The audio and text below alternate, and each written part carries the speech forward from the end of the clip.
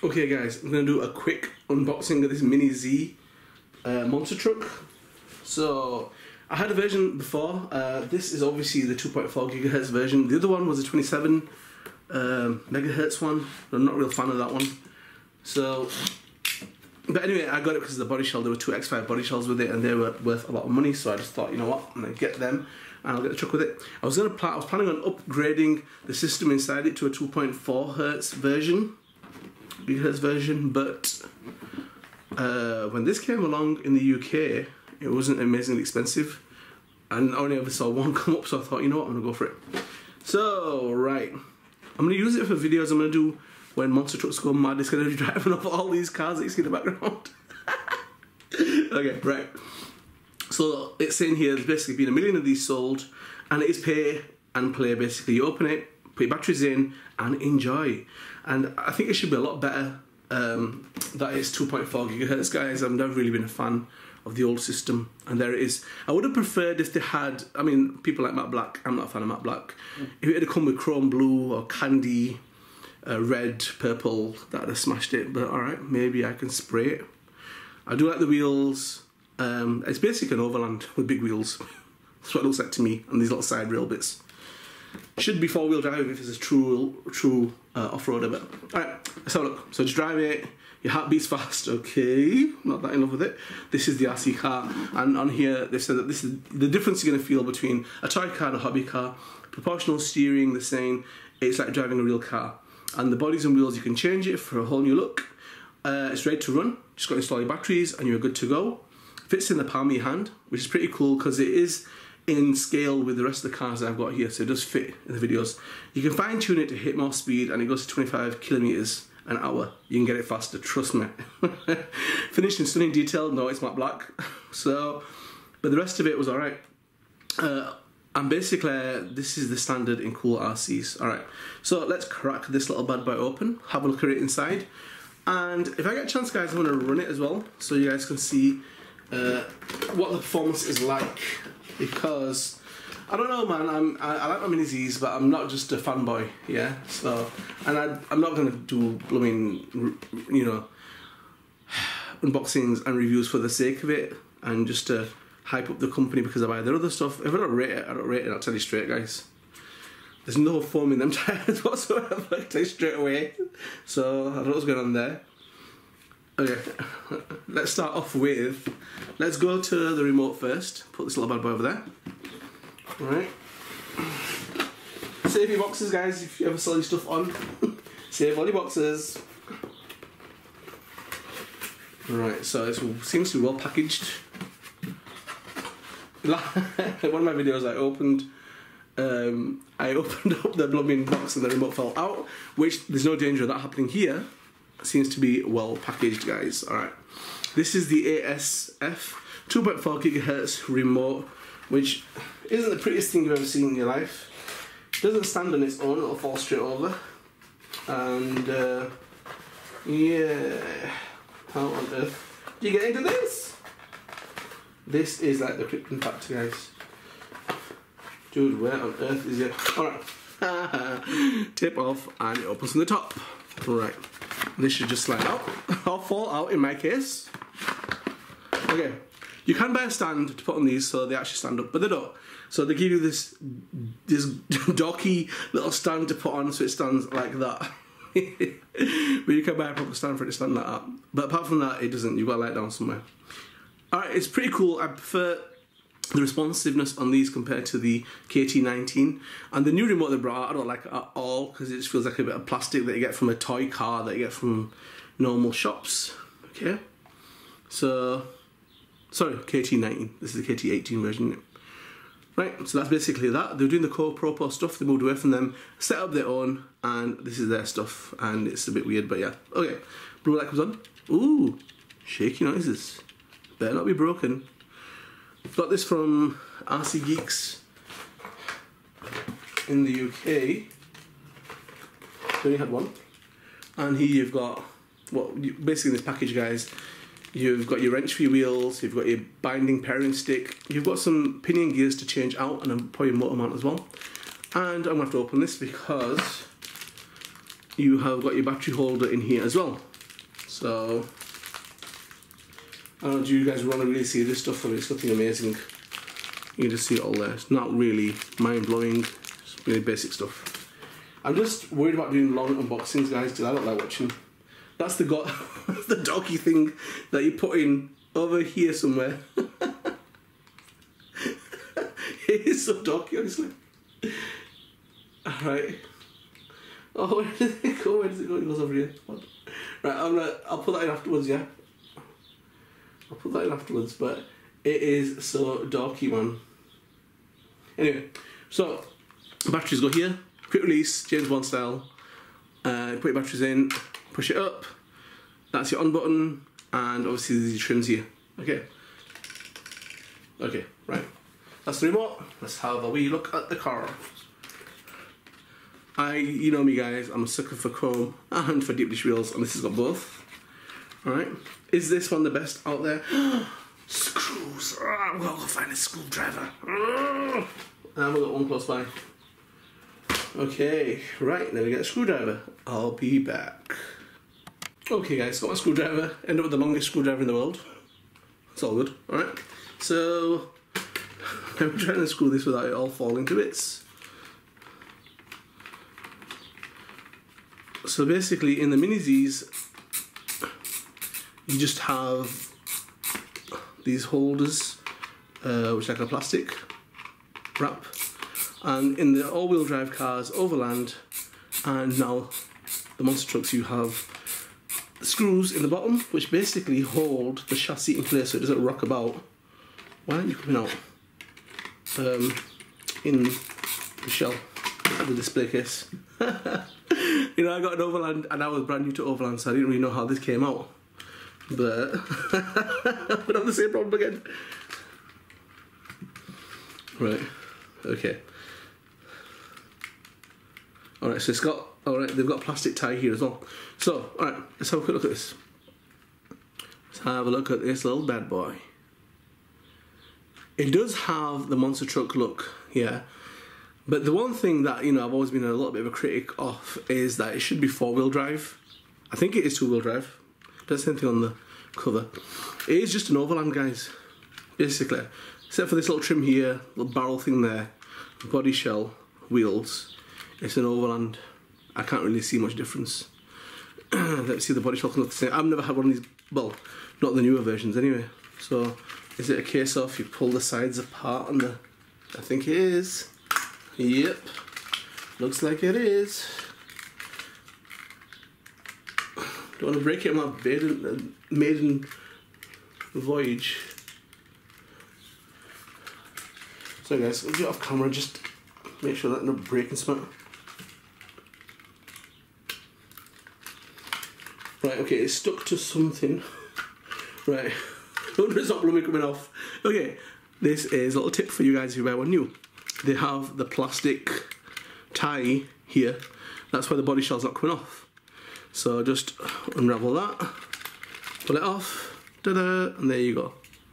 Alright, let's pull that through out of the body shell. Okay, that must have been a mission to get that there in the first place. Right, okay, get rid of that. There's the body shell, and I think that is so bland. You might like it, I don't. Oh, I can put lights on, pull these little babies out, and they never come out easily enough. Got glue in it, no, ended up blooming come out, it's got glue in it. None on the back, so you can't really put lights in the back, that's a bit daft, but okay. And here we have it's two wheel drive, look at that wheel spinning. The backs won't do that because they're obviously connected to the motor on the back here, and these are just free spinning wheels. So not really four wheel drive because that's the first minus I'll give it. Should be four wheel drive, guys. The other thing I'm not a fan of is the ride height. Uh, I think the okay, so pull. So to get this off, you basically push it in together and then pull it apart, and hopefully it should just come off. There we go. That's come off, and with a little bit of wiggling, This one should come off as well. Come on, you little beggar.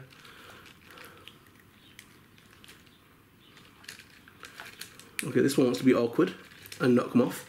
Something holding it in place? Nope, not that I can see off.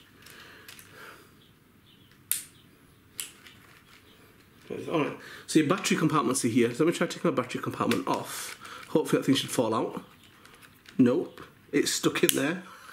I'm gonna have to give it a bit of force, guys, and pull it out. Yeah, just need a bit of force. It's got a hook shape on it, so I just need to yank it out. So batteries go in here. They made it look like it's some kind of barrels on the side, but batteries fit there. That's different to the Overland, and then just clips back in. Come on, there you go. No oil filled shocks, and it's got that twisting kind of torsion kind of thing to it. No foam inside the tyres. Sorry, I know it all sounds kind of negative here. I'm just straight, telling you straight what. That's just a normal Overland motor.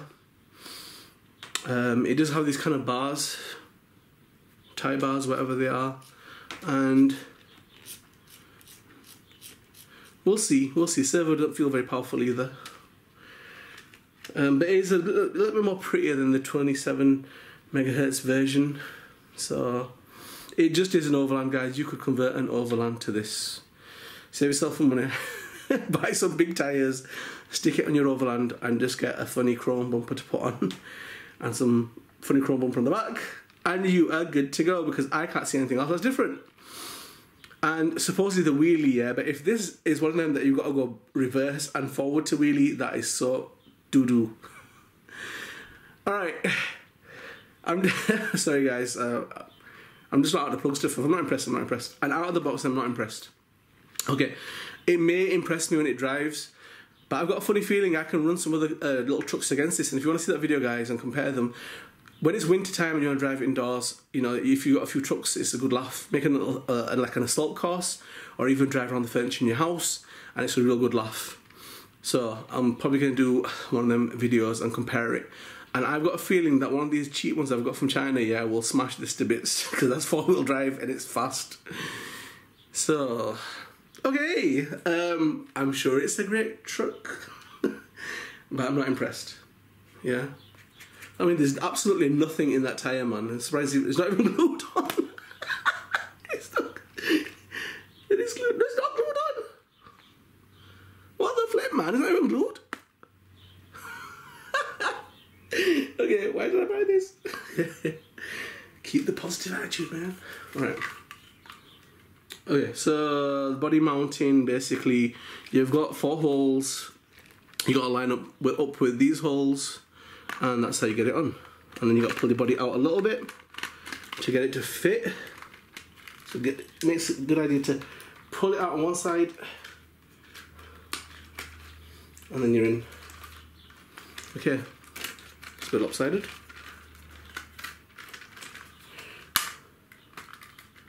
Right, okay.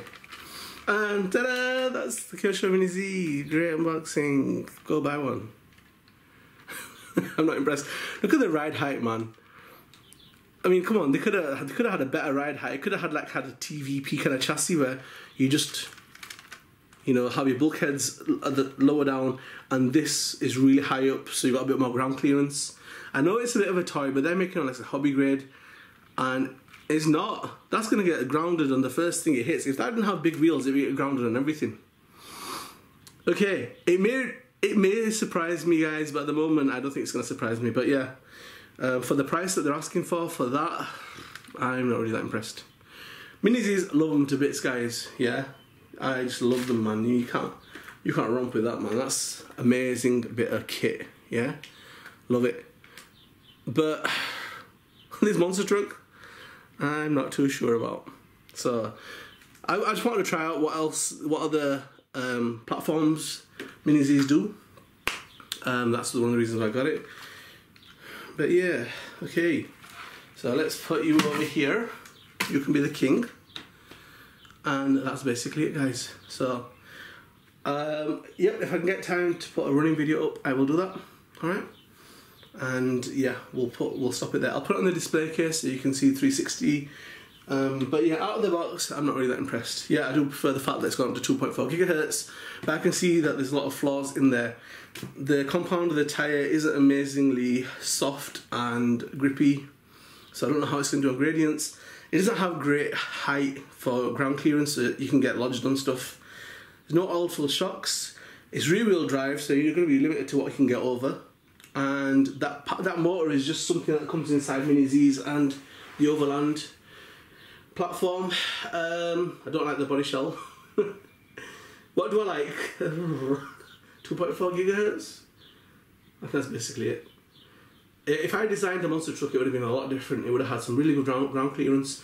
It would have had some really soft um, compound on the tyres. I would have had some foam inside it as well. It would have been four wheel drive. You can do these, you can upgrade to four wheel drive, but why would you want to do that? Why would you want to spend extra money on it when you spent enough in the first place? Why would you want to do that? Because you can just go buy a 10 scale stuff. I've got loads of off wheel, you know, off road trucks. Don't really spend money on this. Should have oil in the shocks. It doesn't have oil in the shocks. Um, so yeah, that's where we are with that. that must be of the worst unboxing anyone's ever done of a Kyosho Mini monster truck. But I'm just being straight, guys. I don't bull you. I'm not impressed. Straight. If it drives and it has the power to launch a wheelie, yeah, from standstill, ah, you know what? I'll be impressed. I don't think it can. I don't think it's got that kind of power. I think it got one of them budget reverse and go forward kind of jobs. But yeah, but anyway, check out my other babies. this is what I respect Mini Z Kyoshos for because they do some sick cars. Honestly, they've got some crazy. I mean, you got my Fast and Furious kit all over there. Um, but yeah, they've got some uh, amazing machines, man. I mean, that looks like. And if you haven't checked out my vids, guys, go and check out my Kyosho Mini race vids because, um, yeah, man, they look pretty cool. So, alright, I'm gonna get on the display stand, have a look at it. We'll take it from there. And if I do get some running footage, I will put it on there. Um, but yeah, so ta-da! Kyosho Mini Z monster truck that I'm not impressed with. But this should have really brought out as a four-wheel drive, guys. Come on, man. How long have they been doing this platform? Two-wheel drive Anyway, easy to criticise, guys. But so we'll stop there, and uh, yeah, watch the other vids that are gonna come up. Watch the race vids that are gonna come up, and I'll be doing more outside stuff, more big scale stuff. Okay, thank you for tuning in. If you haven't subscribed, guys, hit the subscription and the notification bell, and we are good to go on these vids, guys. Thank you very much. See ya.